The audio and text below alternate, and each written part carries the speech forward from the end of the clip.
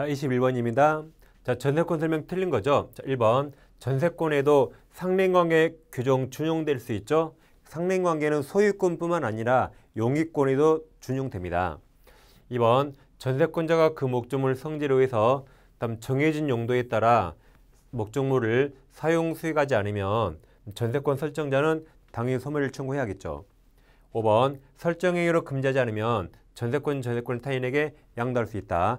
물권이라 원칙 자유롭게 양도할 수 있습니다. 4번 전세권 설정자가 전세금 반환을 지체하면 전세권자는 그 목적물 경매를 청구할 수 있죠. 그리고 우선 면제 받을 수 있습니다. 5번 전세권 존속기간을 연구 설정하면 유효 뚫렸죠. 전세권은 최장 10년, 최장기 제한 10년을 넘지 못합니다. 그래서 연구 안 됩니다. 틀린 거라 5번이 정답입니다. 다음 22번 사례입니다. 자, 가분병에 대한 채무를 담보하기 위해서 자신 소유 X토지, 그럼 X토지는 갑소유, 이걸 병 명의로 근저당권을 설정해 주었다. 그럼 저당권자가 누굽니까? 병, 병입니다. 그후 갑은 X토지를 을에게 매도해서 소유권 이전 등기해 주었다. 아, 을에게 매도해서 소유권 등기가 넘어왔습니다. 이제 틀린 겁니까? 네, 틀린 겁니다. 자, 그럼 등기부 가볍게 오르면 갑소유 부동산에 다음 근저당권자가 저당권자 누구죠? 저당권자가 병, 병, 병이 있고 여기서 소유자가 을, 을로 이렇게 바뀐 거죠? 바뀐 겁니다. 자, 틀린 겁니다. 1번 병, 병은 저당권을 피담보채권이 엄마죠 주된 권리, 주된 권리와 분리해서 제3자에게 양도할 수 없죠. 이 채권이 주된 권리고 저당권이 종된 권리이기 때문에 같이 따라다녀야 됩니다. 1번은 맞습니다. 2번 갑, 갑이 채무자죠. 채무자, 갑은 원문뿐만 아니라 이자 위약금, 채무 불리금은 손해배상 모두 모두 다 변제되죠. 모두 변제해야 근저당 설정 등기 말소를 청구할 수 있습니다. 왜 그래요? 갑은 채분자니까 자기 채무 전액을 다 변제해야 되죠. 3번 병의 피담보 채권이 변제된 경우 갑, 갑은 병명의 근저당권 설정 등기 말소를 청구할 수 없다가 틀렸죠. 청구할 수 있다. 자 그러니까 무효 등기 말소 청구, 무효 등기 말소 청구권은 앞글자가 미음 치읓, 미음 치읓이죠. 미음 치읓 이게 물권료 청구권이에요. 미음 치읓 다시 말소 청구가 물권적 청구권 같이 미음 치읓 똑같잖아요. 그러니까 미음 치읓 약자가 이게 멸치 멸치가 아니에요. 미음 치읓이 뭐다? 말소 청구 물권료 청구권 이 다 물청인데 이거 딱 하나만 채청이에요. 자, 얘는 현재 물권자라 말소 청구 이건 물청인데 갑은 현재 물권자 아니죠. 그렇지만 평가 근저당 계약 당사로서 이걸 말소 청구할 수 있는 이게 유일하게 채권적 청구권입니다. 그래서 모든 말소 청구는 물권적 청구권이에요. 여기서 이 종전 소유자가 말소 청구하는 거 이거 딱 하나만 채권적 청구권입니다. 그래서 갑도 채권적 청구권으로서 말소 청구할 수 있다. 그래서 3번이 정답입니다. 다음 4번 지문 4번 을은 갑의 의사에 반하여도 피담원 채무를 변제해서 근저당 소멸시킬 수 있죠. 을도 이해관계니까. 5번 만약 병의 근저당 설정 전에 엑스토지에서 지상권을 취득한 자가 있다면 그럼 지상권이 먼저 있고 근저당권이 후에 있단 말이죠. 그럼 그 지상권자는 저당권 실행 경매로 인하여 영향을 받지 않죠. 지당, 저당권 밑에만 소멸하니까 지당권 살아남잖아요. 그러니까 영향을 받지 않습니다. 그 다음 이제 저당권의 일괄경매가 있는데 이 내용을 좀 살펴보겠습니다.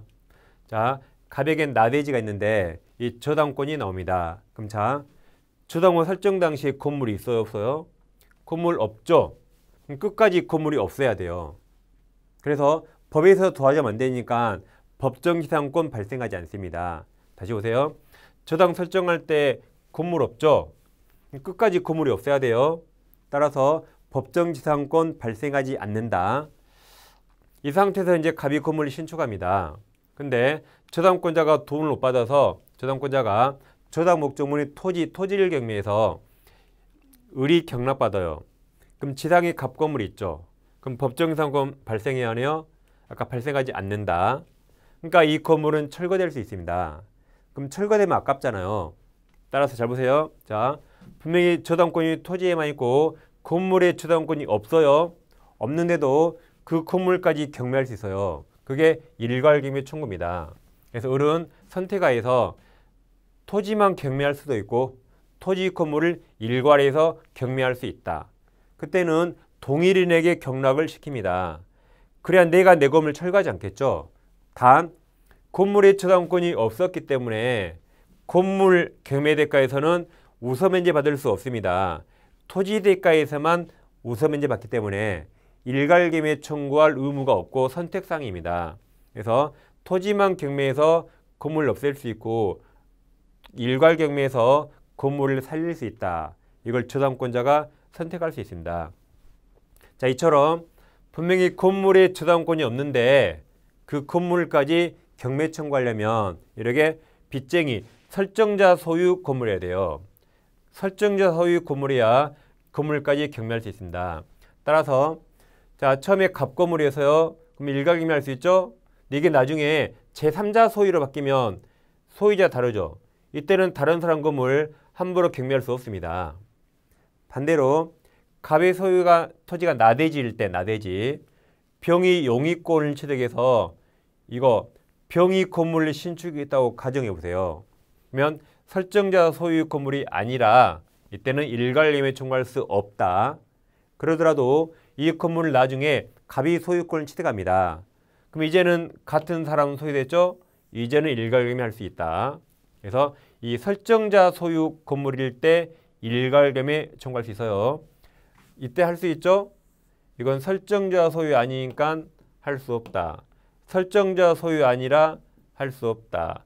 설정자 소유라 할 수 있다. 빚쟁이 소유 건물만 가능합니다. 자 문제를 풀어보겠습니다. 23번 365조 일괄매청거 설명 틀린 겁니다. 자 기억에서 토지 저당권이 설정된 후 저당권 설정자 외의 어, 제3자네요. 제3자가 건물을 축조, 축조한 경우에 그럼 설정자 소유가 아니죠. 그래서 일괄매청권 인정되지 않다 해서 맞았습니다. 맞았다. 그럼 틀린 거니까 기억 있는 걸 빼요. 기억 빼면 4번, 5번이 남습니다. 그럼 니은은 볼 필요 없죠. 니은 여기 똑같잖아요. 그럼 디귿 리을 둘 중에 하나만 알면 되겠네요. 그럼 자, 디귿 저당 설정 당시에 저당 목적물의 토지상에 건물 축조가 진행 중이래요. 진행. 이때는 법정이상권이 발생할 수 있죠. 그럼 철거 안 되죠? 그러니까 굳이 일괄김해 청구 굳이 인정되지 않습니다. 맞았네요. 그래서 틀린 거라 디귿 빼면 몇 번이 답이죠? 4번으로 하겠죠? 4번. 그럼 자 니은부터 볼게요. 자 니은 토지 저당권이 설정된 후 설정자 빚쟁이가 건물을 축조하였으나 경매 당시 어 제3자로 바뀌었네요. 이때 인정되지 않는다. 리을 저당권자에게 일괄매 청구 인정된 경우에 저당권자는 토지만 경매 청구하는 것도 허용된다죠. 선택할 수 있죠. 그래서 틀린 거라 정답이 4번 니은과 리을입니다.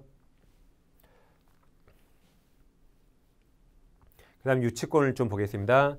먼저 유치권은 법정 담보물권이죠. 갑과 을이 약정한 게 아니라 법률 규정상 당연히 성립합니다. 그러더라도 이건 물권법이지만 이건 임의규정, 임의규정이에요. 따라서 유치권 폐지 특약 가능합니다. 유치권 폐지 특약 가능해요. 유치권 폐지 특약은 사전에 포기하든 사후에 포기하든 가능하다. 가능하고 유치권은 물권이니까 누구라도 누구라도 유치권이 소멸했다고 제3자 누구라도 주장할 수 있습니다. 그래서 상대방 뿐만 아니라 제3자 누구라도 유치권이 소멸했다고 주장할 수 있다. 여기서 이제 유치권 폐지 특약으로서 시험에 제일 잘 나오는 게 임대차에서 임대차 중로 시 임차인이 원상복구 하기로 약정합니다. 그럼 이것은 필요비나 유익비 같은 비용 청구를 포기하는 겁니다. 그럼 비용 청구 못하는 거죠? 그럼 돈 달라 못하니까 유치권 행사할 수 없습니다. 이 가장 대표적인 유치권 폐지 특약으로서 시험에 잘 나옵니다. 그래서 임의 규정 꼭 기억하세요. 그 다음 유치권이 인정되지 않는 성질이 있는데 첫째 유치권은 경매에서 우선 면제권이었고 두 번째 물상대가 없습니다. 세 번째 말장난 같지만 유치권은 유치권에 기한 물권적 초음권이 없습니다. 대신 점유권에 기한 물청으로 보됩니다. 그래서 외웁니다. 자 유치권에 우물에 유물 없어요. 우물파도 유물 안 나오죠? 우물파 흙밖에 안 나오죠. 요거요. 우물에 유물 없다라고. 이것 말고 다 있어요. 그러니까 외우는 겁니다. 유치권은 우물에 유물이 없죠. 그럼 이것 빼고 나머지는 다 있다 하면 99% 99% 맞아요. 그럼 자 유치권에 수반성 수반성 있나요? 네 있다. 수반성 여기 없죠. 어, 그러면 있다. 부종성 있나요? 있다.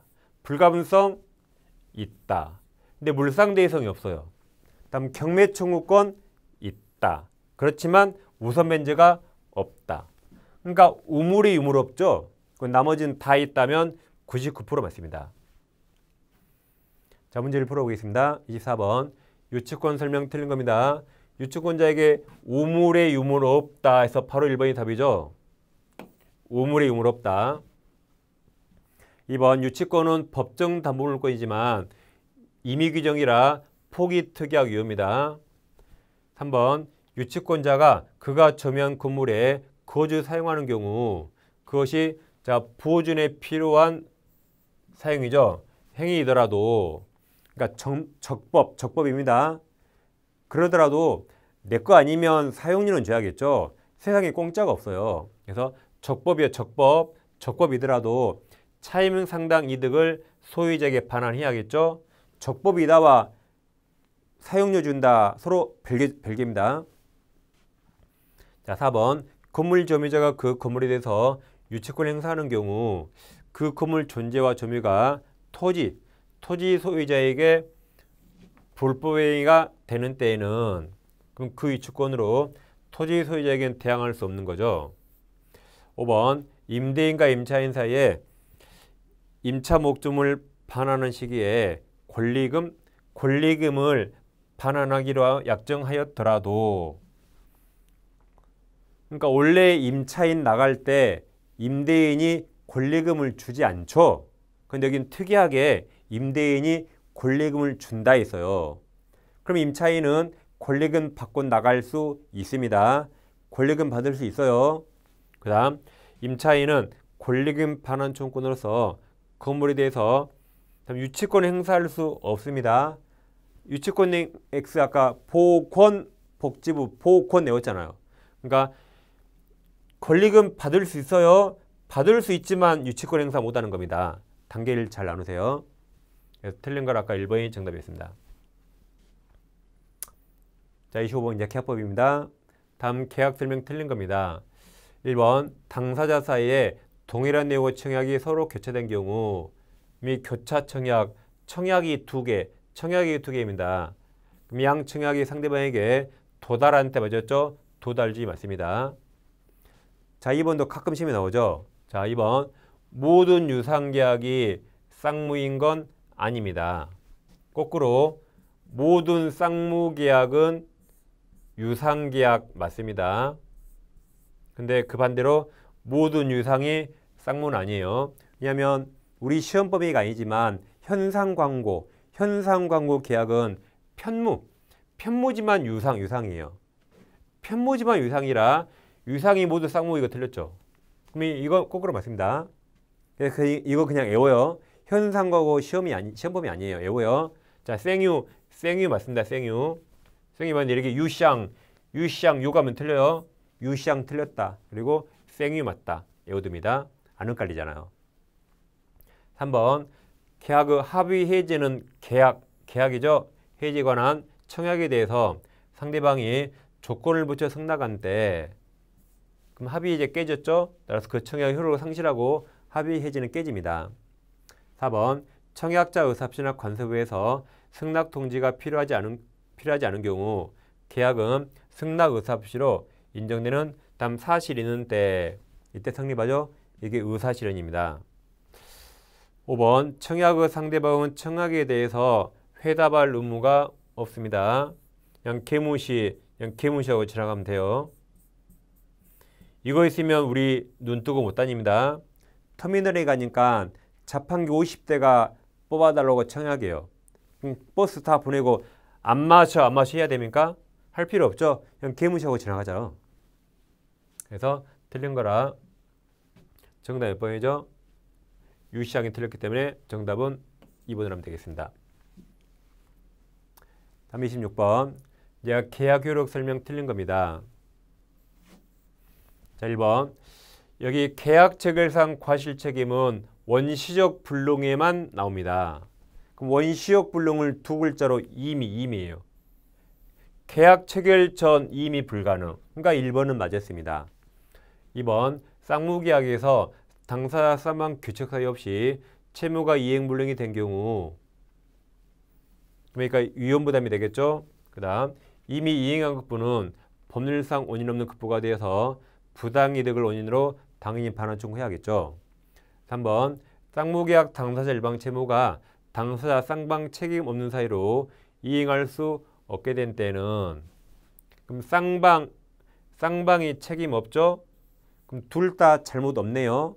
따라서 일방 채무자는 타방 상대방에게 상대방도 잘못 없죠. 그러니까 이행 청구하지 못하고 여기까지 맞았습니다.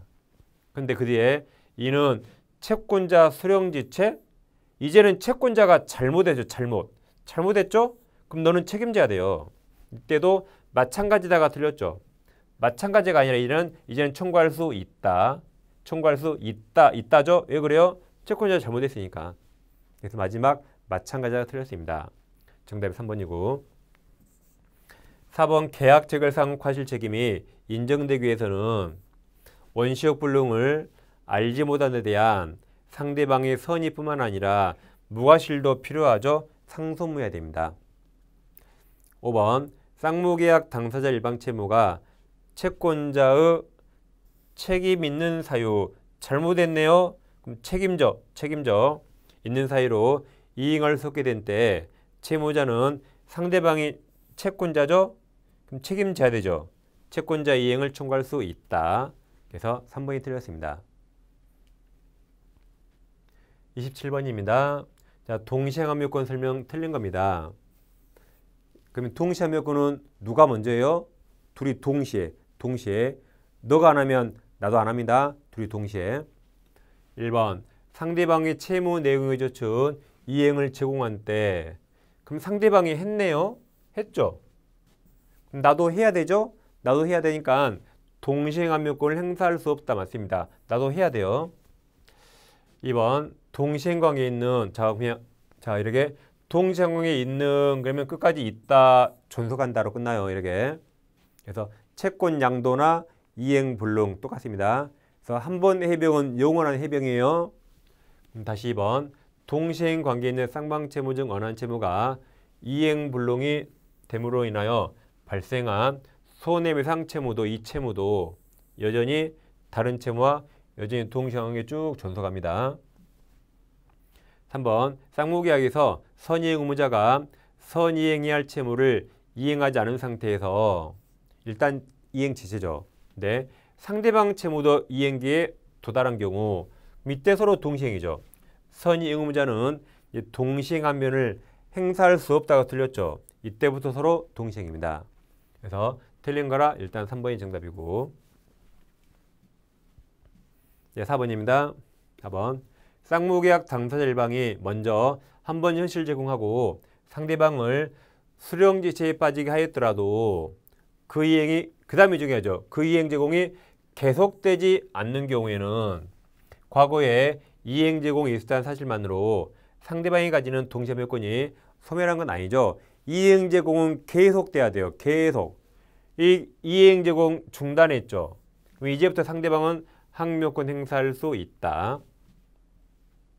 5번 가등기 담보에 있어서 채권자의 청산금 지급 의무와 채무자의 목적 부동산에 대한 본등기 및 인도 의무까지 서로 동시행이죠.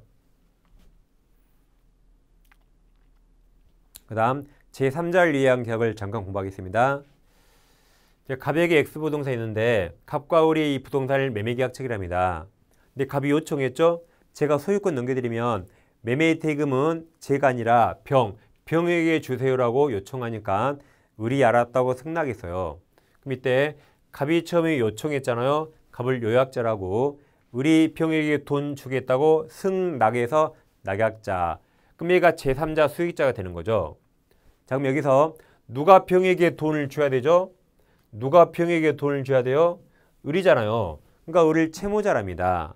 그럼 갑이 채권자고 얘가 제3자 수익자가 되는 거죠.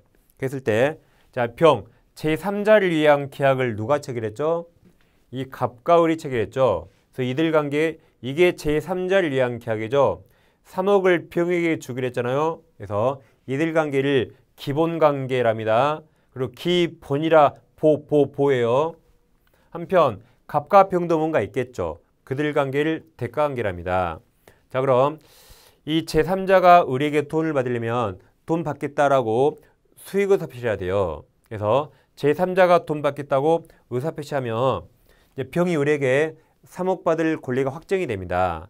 이것도 보호하기 때문에 이제는 갑과 을, 갑과 을이 합의로서 저 계약을 2억으로 깎을 수 없고 하물며 저 계약을 소멸시킬 수 없습니다. 왜 그래요? 이미 병은 3억 받을 권리가 생겼는데 2억으로 깎으면 안 되고 소멸시킬 수 없습니다. 단 주의할 게 합의, 합의로 할 수 없죠. 합의가 아니라 법에서 인정한 권리, 자기만의 고유한 취소권이나 해제권을 행사할 수 있어요. 즉 매매할 때 갑이 을을 사기 강박하면 당연히 을은 취소해야겠죠. 그리고 을이 채무를 행하면 당연히 갑은 해지해야겠죠. 이런 법정 권리, 법정 권리는 요건을 갖추 행사할 수 있어요. 근데 이런 게 없음에도 불구하고 갑과 을, 갑과 을이 서로 짜고 짜고 할 수 없습니다. 두 개를 잘 비교하세요. 자 이번에는 병이 돈 받을까 말까 고민하면 을이 최고 최고합니다. 을이 병에게 돈 받을래 말래 최고예요. 근데도 답이 없네요. 자 그럼 민법이 모든 최고 물어봤는데 답이 없죠. 그럼 지금 이대로 있겠다요. 아직 돈 안 받았죠? 따라서 수익을 거절로 봅니다. 자, 그 다음 이게 빨강색이 제3자를 위한 계약이죠. 그래서 기본관계는 제3자를 위한 계약 그 자체입니다. 근데 자, 이 초록색은 빨강색과 겹친 적 없기 때문에 대가관계는 제3자를 위한 계약에 어떠한 영향을 미치지 않습니다. 따라서 갑과 병, 대가관계가 무효가 되거나 유, 취소가 되더라도 이 빨간색 이 약속은 무조건 지켜야 돼요.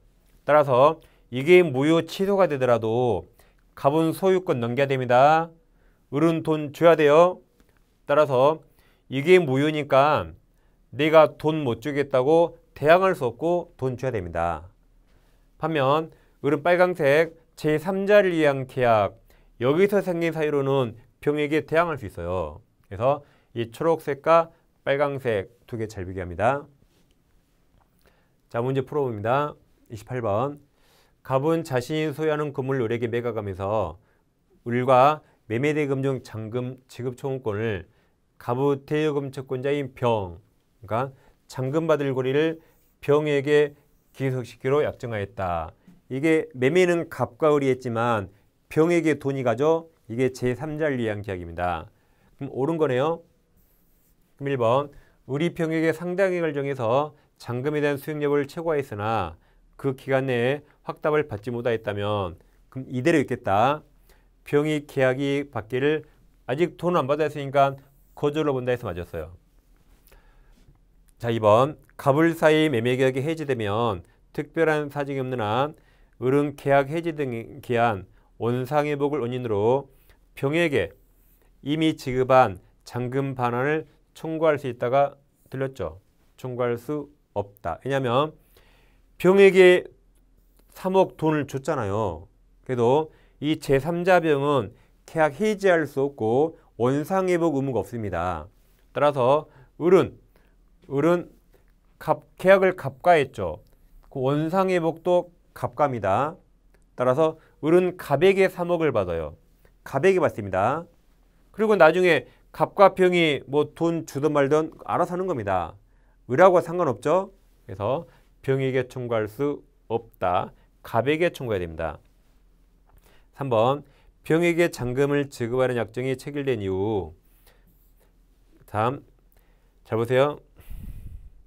자, 갑병 사이 금전 소비대 계약이 취소되었다면 그럼 이것은 대가 관계, 대가 관계죠.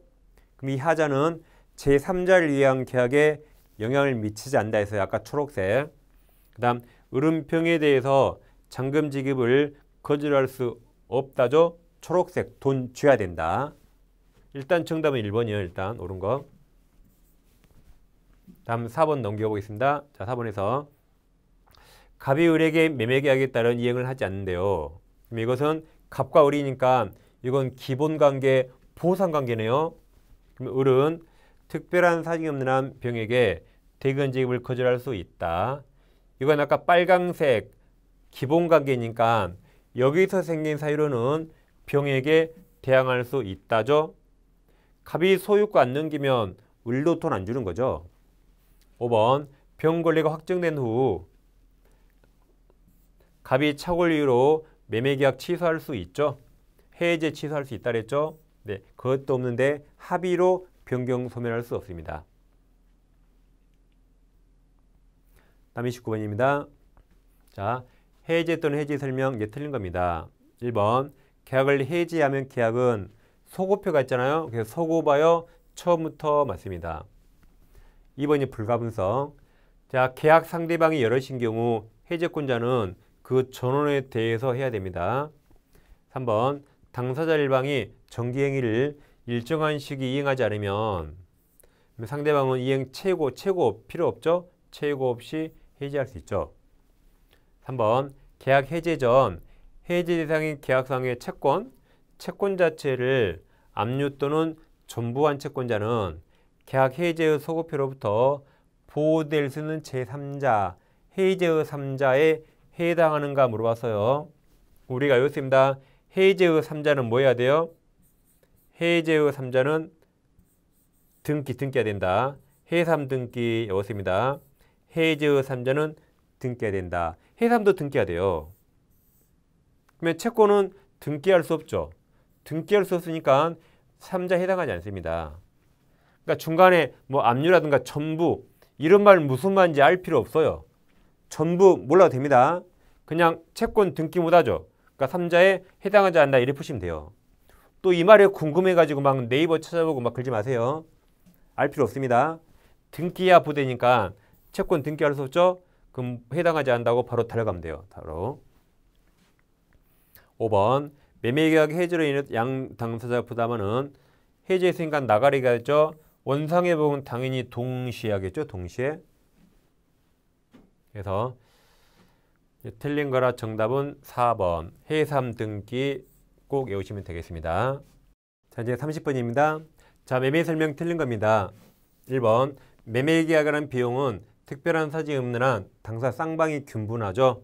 2번 매매 목적물 인도와 동시에 대금을 지급할 때는 특별한 사정이 없으면 그 인도 장소 맞았죠. 우리가 아이스크림 살 때 돈 어디서 줘요? 집으로 받으러 와? 안 팔아요. 집이 아니라 마트. 마트에서 그 돈을 주는 거죠. 마트 맞습니다. 3번 매매 목적에 대한 권리가 타인에게 속한 경우에도 일단 매매는 유효하죠. 유효. 그래서 타인 권리 매매도 유효입니다. 틀린 거라 답이 3번이고 4번 당사 사이에 다른 약정이 없으면 계약금 해약금으로 수용된 게 565조 5번 계약금 계약은 매매 계약의 종대행 계약이면서 요물 계약입니다. 답이 3번입니다. 네, 31번 갑은 자기 소유 주택을 을에게 매도하고 계약금을 받았다. 계약금 계약 성립했습니다. 그리고 3개월 후 매매대금 지급받고 매매대금 지급과 동시에 이전 등기 해주기로 하였다. 이제 틀린 겁니다.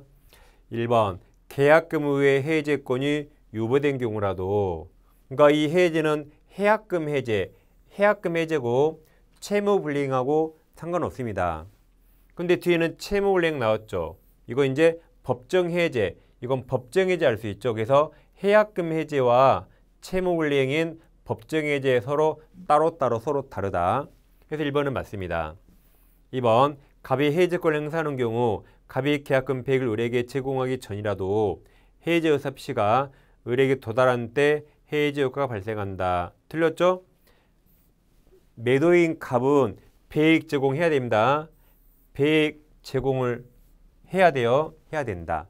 단 매수인이 안 받을 때 공탁할 필요까지는 없습니다. 그래서 배액 제공해야 됩니다. 그래서 2번이 정답입니다. 3번 해약금 의한 해제권을 배제하기로 하는 당사자 합의가 있는 경우 565조는 임의 규정이라 합의가 유효죠. 음, 당사자가 이행 착수 전이라도 가분 계약금 배액 상환하고 이 해지할 수 없다. 합의에 따라야 되죠.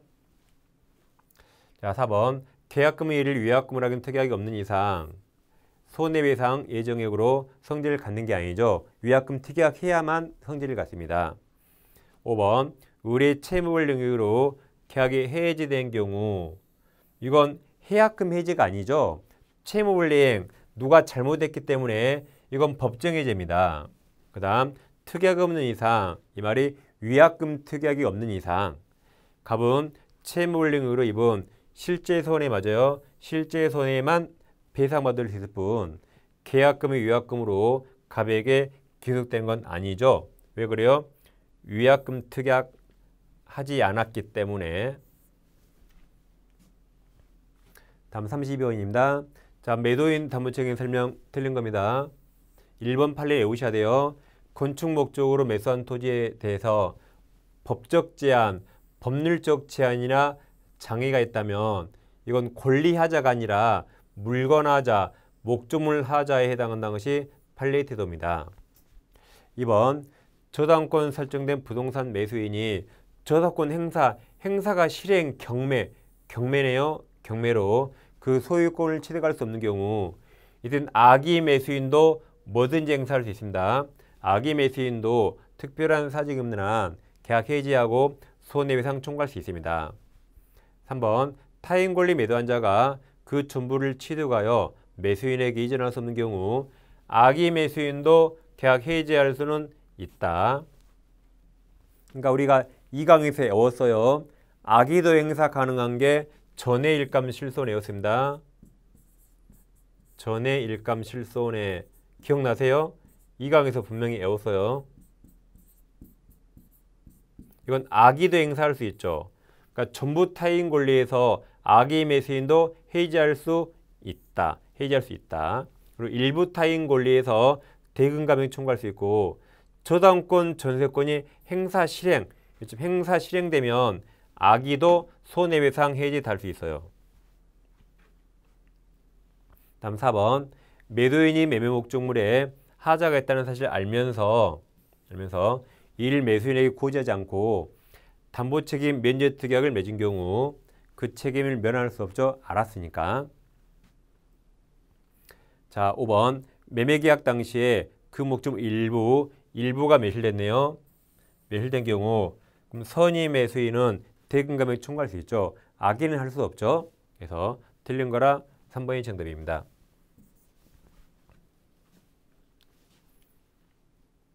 다음 3위 3번 민법상 임대차 설명 가장 틀린 겁니다. 1번 임차인의 필요비 상환 청구권 이건 임의 규정 비용이라 임의 규정이죠. 청구권에 관해서 당사자가 민법 규정보다 임차인에게 불리하게 약정한 경우에도 그 약정 유효입니다. 임의 규정이라 유효 유효. 이번 임차인이 지상물 소유권을 타인에게 이전한 경우 그럼 더 이상 임차인은 지상물 소유자가 아니죠. 더 이상 건물 소유자가 아니니까 지상물 매수정권을 당연히 행사할 수 없습니다. 건물 소유자가 내거 사하는 거죠.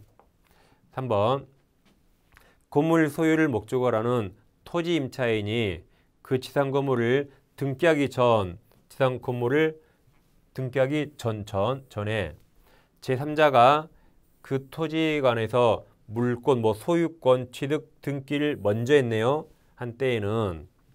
그럼 항상 매매로 소유자가 바뀌면 시간순, 시간순이에요. 이거 지상 건물을 등기하면 대항력이 생기는데 제3자가 물권 취득을 먼저 하고 먼저 하고 이제 임차인이 그 지상 건물을 인제 등기했네요. 그럼 시간적으로 늦었잖아요. 그러면 그 제3자에 대해서 임대차 효력이 생기지 않는다 해서 맞았습니다. 시간이 더 빨라야 돼요. 4번 임대차 준호 시 임차인의 부속물 매수 초음권 이건 강행 규정, 강행 규정이죠. 이 가능 규정은 강행 규정이므로 그러니까 맞았네요. 임차인은 그다음 그다음이 중요하죠. 채무 불이행으로 임대차 계약이 해지된 경우에는 임차인은 무속물 매수 초음권이 이때는 인정되지 않죠. 기간 만료 시 인정되는 거죠. 이처럼 임차인이 채무 불이행했다. 이때는 인정하지 않습니다. 그래서 틀린 거라 4번이 정답이고 5번 보증금 지금은 임대차 요소가 아니죠. 차임은 요소지만 보증금은 아닙니다. 예, 4번이 답입니다. 다음 3위 4번 을은 건물을 소유할 목적으로 갑소유 토지, 갑소유 토지를 임차한 후 다음 갑동의를 받지 않았네요. 임대인 동의 받지 않고 토지를 병에 전대하였다. 그럼 임대인 동의가 없을 때는 양도와 전대가 똑같습니다. 틀린 겁니다. 1번 을가병 사이 전대 계약은 일단 유효하죠. 동의 없더라도 안 들키면 돼요. 일단 전대는 유효합니다. 2번 갑은 을과 임대차 계약이 존속하는 동안 즉 동의를 얻지 않았으니까 갑은 임대차를 해지할 수 있는데 해지하지 않았다 않았단 말입니다. 그러니까 존속하잖아요. 그러면 갑은 을에게 월세를 받기 때문에 병에게 불법점을 이유로 손해배상 청구할 수 없습니다. 왜 그래요? 을에게 월세를 받으니까 재산상 손해가 없잖아요. 3번도 마찬가지. 갑은 을과 임대차 계약이 존속하는 동안 병에게 불법점을 이유로 부당히 대파는 청구할 수 없다. 두 개를 같이 보세요. 이렇게. 그 다음 잘 보세요. 자, 4번에 만약, 만약이 보여요. 5번에도 만약이 보이죠. 그 만약을 어떨 때 사용하냐면 자, 만약은 문제 없는 말을 추가할 때 만약을 씁니다. 또는 문제 있는 말과 다르게 가정할 때 그때 만약을 씁니다. 그럼 4번 만약 을이 갑동이 얻어 그랬죠. 갑동이 얻어. 문제는 동의 받지 않았죠.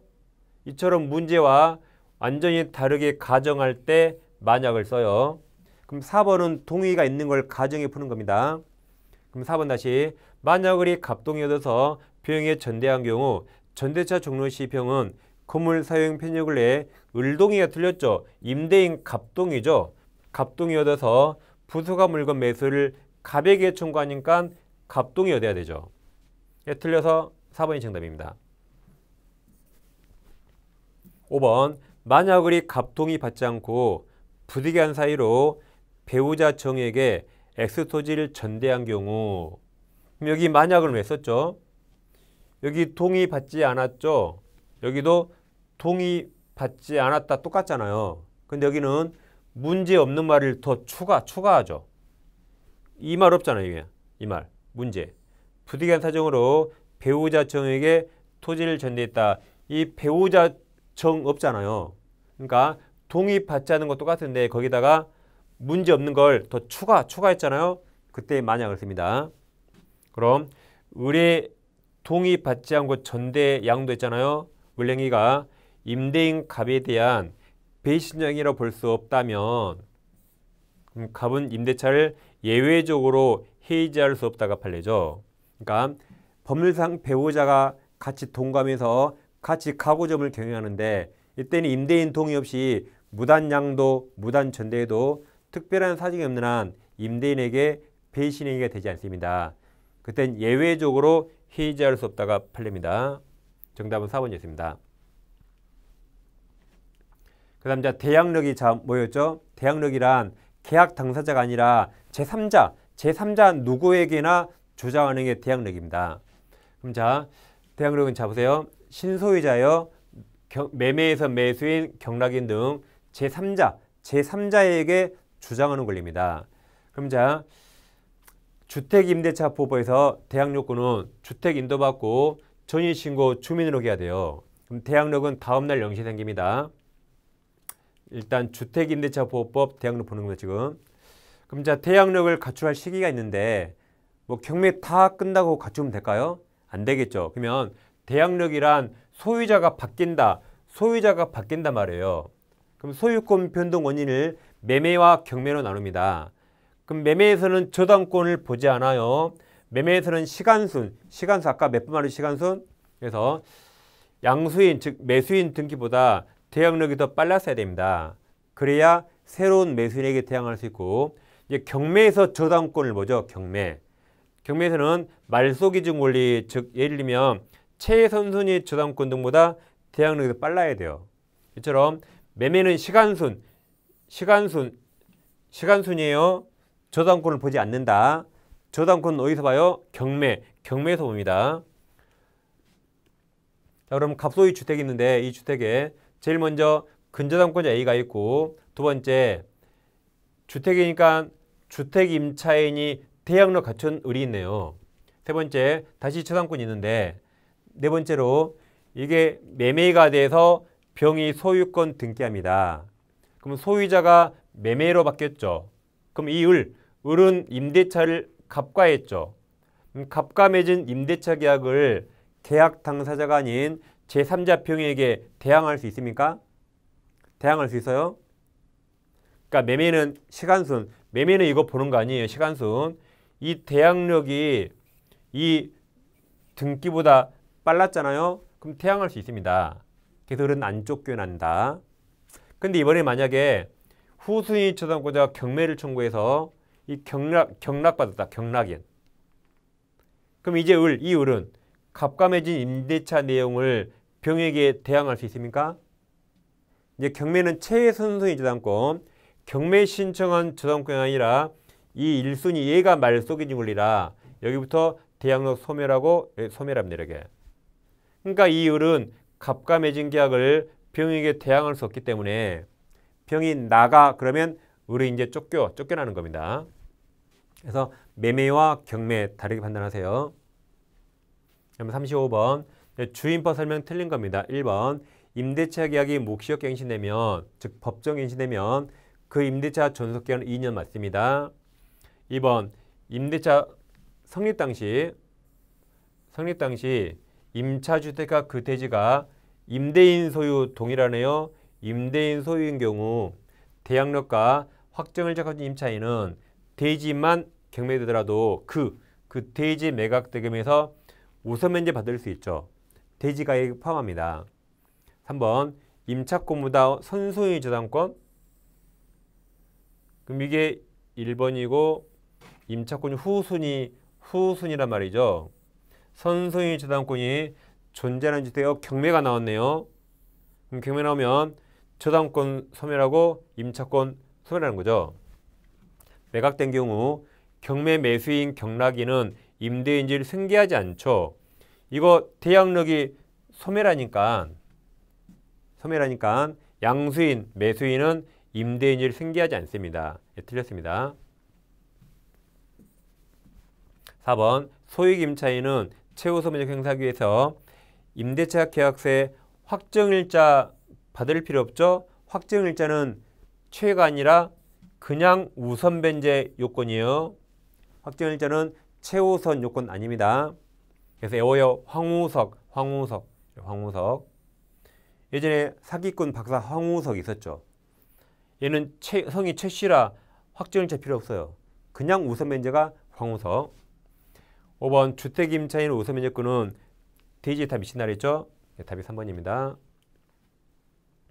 36번 주인법 설명 틀린 겁니다. 1번 주택 전물 일시 일시 사용이 명백하면 주인법 상인법 적용되지 않습니다. 2번 미등기도 다 주인법 적용돼요. 3번 주택임대차법상 대항력 대항력 갖췄단 말이 양수인이 양도인지를 승계한다, 승계한다 했습니다. 대학로급지 임차인의 보증금 반환 채권이 가압된 상태에서 주택이 양도 매매된 경우 양수인, 매수인은 매수인은 채권 가압류 제3 채무자지를 승계한다죠. 다시 대항력 있다가 뭐예요? 양수인이 양도인지를 승계한다. 3번이 틀려 정답입니다. 이건 제가 1강에서 자세히 설명드려서 1강, 1강 해설 꼭 참고하세요. 4번 기간을 정하지 않은 주택임대차는 그게 2년으로 보는 거죠. 5번 기간을 1년으로 정한 주택 임대차 경우 임차인만 임대인은 할 수 없죠. 임차인만 그 1년이 유효를 주장할 수 있습니다. 정답이 3번입니다.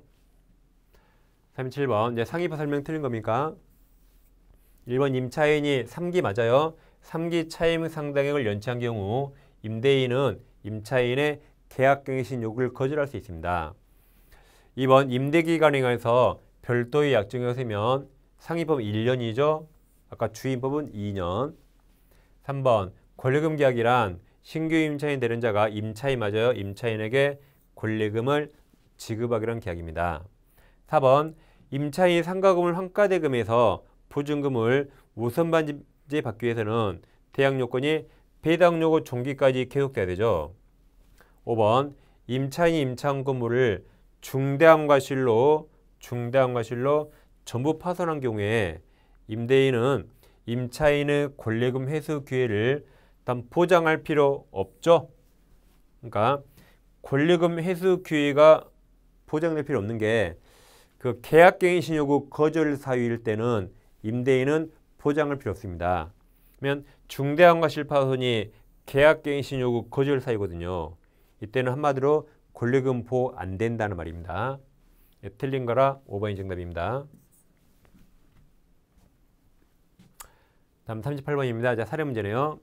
가분을에게 3억 원을 빌려주고 이를 담보하기 위해서 자, 을 소유 부동산 시가 5억짜리 여기에 가등기를 하였다. 그럼 갑이 가등기인데 담보 목적이라 담보가등기, 담보가등기죠. 이때 우리 변제기의 채무를 이행하지 않자 갑은 즉시 담보권을 실행해서 부동산 소유권을 취득한다. 이게 귀속 청산이죠. 틀린 겁니다. 1번 을은 갑이 통지한 청산금액에 묵시적 동의할 수 있지 뭐든 명시무시 가능하다.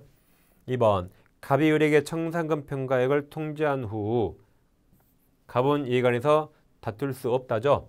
갑은 다툴 수 없다. 자기관계가 구속되는 겁니다. 3번 갑은 청산금 평가액을 당연히 채무자에게 통지해야 되죠. 4번 갑이 을에게 담보권 실행 통지를 하지 않으면 청산금을 지급하더라도 가등 기기한 본등기 청구할 수 없습니다.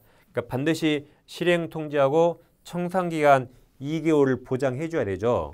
그렇지 않으면 본등기 청구할 수 없습니다. 5번 을은 갑이 통지한 청산 금액을 다투고 정당의 평가 청산금을 지급할 때까지 부동산 소유권 이전 등기 및 목적물 인도 채무 이행을 거절할 수 있죠. 이게 동시함유권. 돈 정당한 돈 안 주면 등기 못 넘겨라고 동시함유권 행사할 수 있습니다. 정답이 2번입니다. 음, 계약미터 보겠습니다. 자, 갑이 을과 명의타 약정을 합니다. 음, 갑이 신탁자고 우리 이제 을에게 매수 자금을 다 제공했어요. 그래서 을이 수탁자고 돈까지 다 받았으니까 이제 을이 매매 계약 체결하겠죠. 그래서 을이 병과 매매 계약을 체결합니다. 그래서 병에서 을 앞으로 등기를 넘겨요. 자 그럼 자 매매도 을하고 했고 돈도 받아서 을이 주겠죠. 그러니까 등기도 을에게 왔잖아요. 그러니까 일반적으로 매도인 병은 명의 시탁이 있는 걸 모를 겁니다. 그래서 선이라면 이 선의병을 부하기 위해서 물권 변동 유효입니다. 근데 갑과 을은 이거 하지 말한 지 됐죠. 이건 무효 무효예요. 근데 이 선의병을 부하기 위해서 병이한 물권 변동 유효가 됩니다. 두 개를 잘 비교하면 되겠습니다. 자 그럼 소유권은 을이 취득에 있으니까 갑은 을에게 소유권 부동산 뺏어올 수 없지만 내가 준 돈으로 우리 소유권 취득했죠? 그래서 이 매수 자금을 부당이득 반환 청구할 수 있는 거죠. 39번 2016년 X부동산 취득하려는 갑은 친구 을과 명의신탁을 약정하였고 그럼 갑이 신탁자, 을이 수탁자가 됩니다. 그 다음 주어 을, 을이네요. 수탁자 을은 그 약정에 따라 계약 당사자로서 그럼 이게 계약 명의 신탁, 계약까지 다 맡겼죠. 다음 선의병, 선의병으로부터 X부동산을 매수해서 자신 을 명의로 등기하였다. 그럼 이게 계약 명의 신탁이죠. 신탁자가 수탁자 을에게 계약, 계약까지 다 맡겨서 이게 계약 명의 신탁. 그럼 계약 명의 신탁은 매도인이 선이죠. 그럼 선이 매도를 보호하기 위해서 등기는 유효, 유효입니다. 유효. 근데 명의신탁 이건 각과을 하지 말한지 됐죠. 이건 무효, 무효예요. 근데 이 선의병을 보호하기 위해서 물권면동 유효입니다. 그럼 옳은 겁니까? 1번 약정은 무효, 등기는 유효. 말이 틀렸네요. 자, 3번 갑은 을을 상대로 부당이득 반환으로 X부동산은 유효니까 을소유죠? X부동산 청구할 수 없습니다. 4번 정에게 처분해서 소유권 이전 등기를 마친 경우 정도 소유권 취득할 수 있죠? 을이 유효 100, 100이니까 100. 그럼 100이면 정도도 무조건 100, 악의도 취득하죠? 그래서 옳은 거라 정답이 4번입니다. 5번 병은 특별한 사지 없는 을, 을 유효죠. 요 100. 을100 유효. 그러니까 을 등 기 말소 총괄 수 없다죠. 없다. 그래서 4번이 정답입니다. 자, 40번. 집합 건물 구분 소유 설명 틀린 겁니다. 1번. 각 구분 소유자의 공용 부분에 대한 지분은 규약으로 달리 정함이 없는 한 그가 가진 전유 부분의 가액이 아니라 면적, 면적 비율이죠. 아파트라면 아파트 똑같은 40평도 1층과 20층 가격이 다르죠. 그러니까 가액을 일일이 따질 수 없어요. 그러니까 면적 비율, 면적이 똑같으면 같은 겁니다. 그래서 1번이 바로 정답입니다. 2번 구조상 이용상 독립성을 갖춘 건물부는 구분소유 목적이 될 수 있죠. 3번 구분소유자의 대지사용권은 규약으로 달리 정함이 없으면, 없으면 그가 가지는 전유분 처분에 따라가는 거죠. 4번 아파트 지하실은 특별한 사정이 없는 한 구분 소유권 목적이 될 수 없습니다. 5번 구분 소유자는 전유 부분의 보존 개량을 위해서 다른 구분 소유자의 전유 사용을 뭐 당연히 청구할 수는 있죠. 그래서 1번이 정답입니다. 자, 이렇게 이 강을 같이 공부했죠. 다시 한번 복습하시면서 항상 시간 내 푸는 연습을 꼭 하세요. 실전이라 생각하고 푸는 겁니다. 자, 다음 시간에 다시 찾아뵙겠습니다. 자, 감사합니다.